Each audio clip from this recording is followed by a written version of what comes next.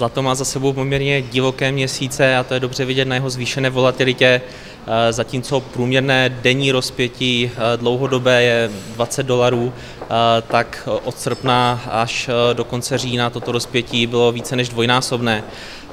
Zvýšené volatilitě nepomohly ani prudký vzestup v průběhu letních měsíců, následný pád v září o 20 eh, který byl způsoben výprodejem finančních aktiv a pokrýváním eh, ztrát investorů právě, právě zlatem, který je považováno za bezpečný přístav.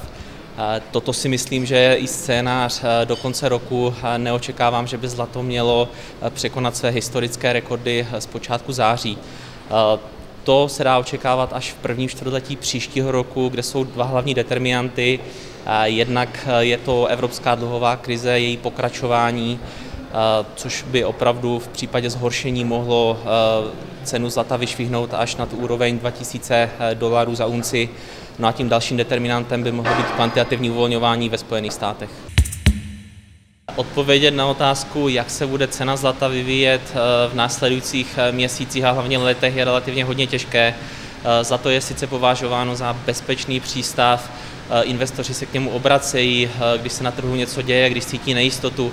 Eh, nicméně musíme se na to podívat také z pohledu toho, že cena zlata nám vyjadřuje také cena amerického dolaru. A pokud bude americká měna nadále klesat tak, jako tomu bylo v posledních deseti letech, tak cena zlata může růst o stovky procent, přestože cena v jiných měnách může být o hodně stabilnější.